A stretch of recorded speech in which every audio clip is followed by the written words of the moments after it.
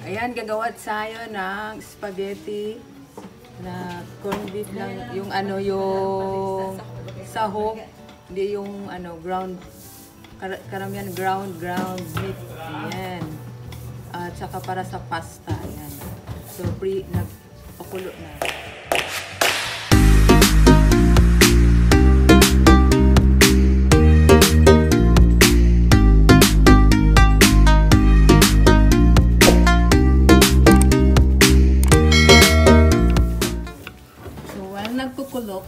Ng tubig, ay, ano muna, prepare yung mga sangkap. Ayan. Slice, slice. Yung red bell pepper. Yung pinakuluan na tubig ay may kasamang mantika at saka asin. Ilang mantika at ilang asin. Isang ano spoon ng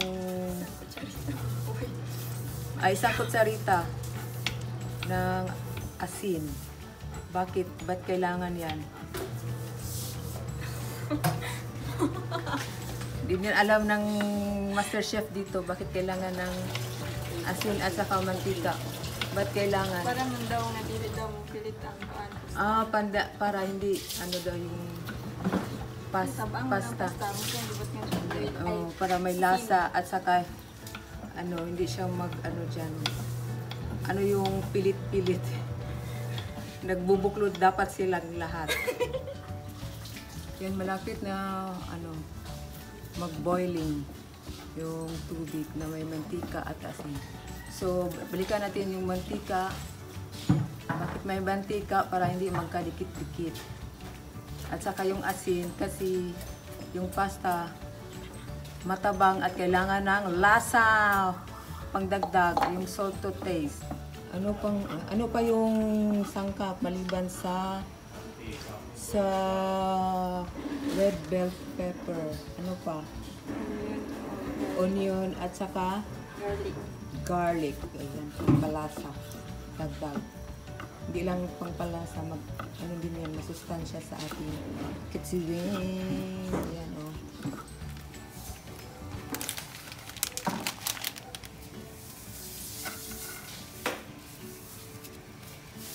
Ayan, nilulunod na. Ang pasta. Ayan, para madali lang kainin. Simple spaghetti recipe. Ah, instead of sa yung karne na yung ground meat. Ito ngayon ay yung corned beef. Um, umuusok-usok. Ilan malalaman na luto na yung pasta? Ha? So, mag-ano tayo ng 8 minutes. Timer 8 minutes para ay para ano na, lutong-luto na yung pasta para sa spaghetti natin. Reheat. Cooking oil.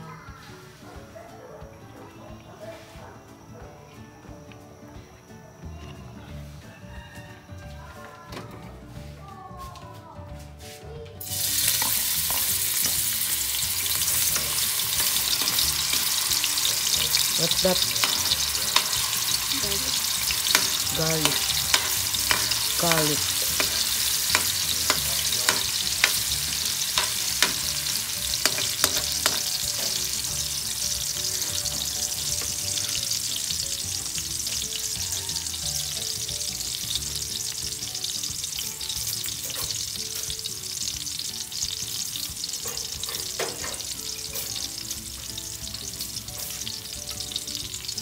Smells good already. Yum.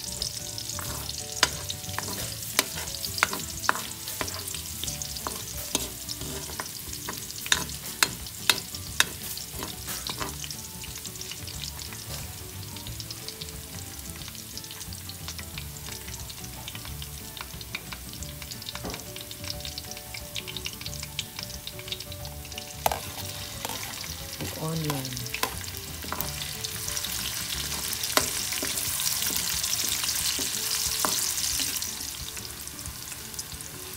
with the onion.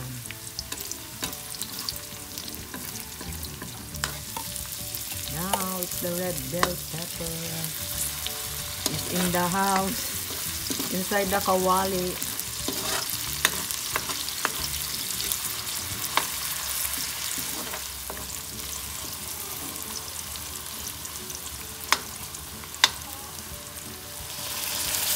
Now the hot dog or the sausage.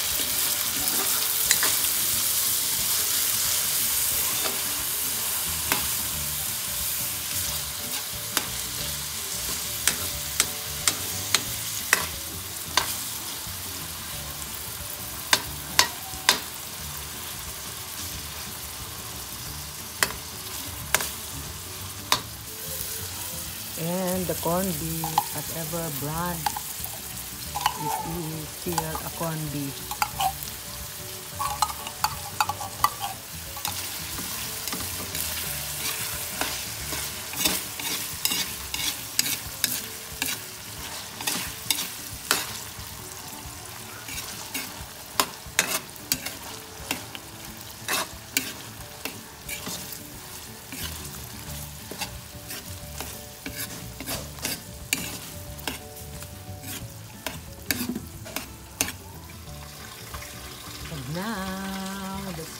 Spaghetti sauce.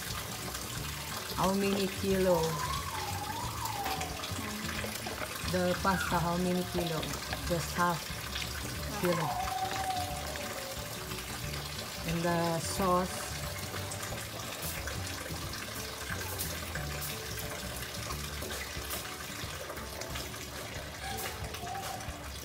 Later on. Just enough for the half kilo.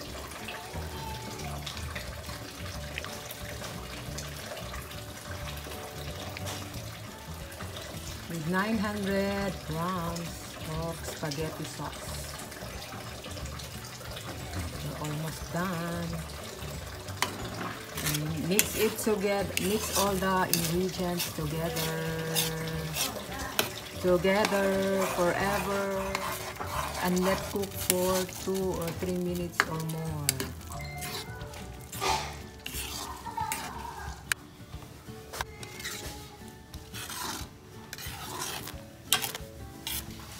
Smells good, smells yum.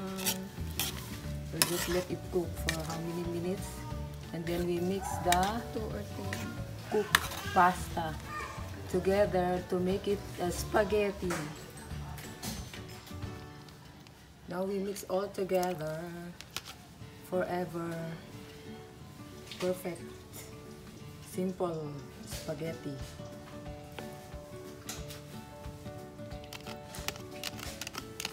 Ayaw kumalas yung spaghetti sa drainer. Drainer, dry. And mix it together. Mix, mix them all together.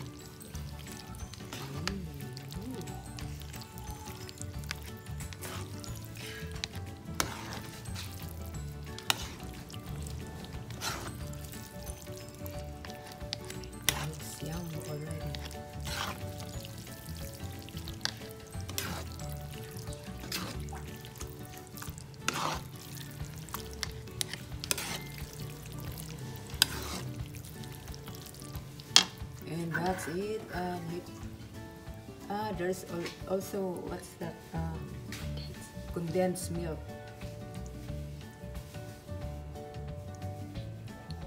To make it make it creamier and tasty.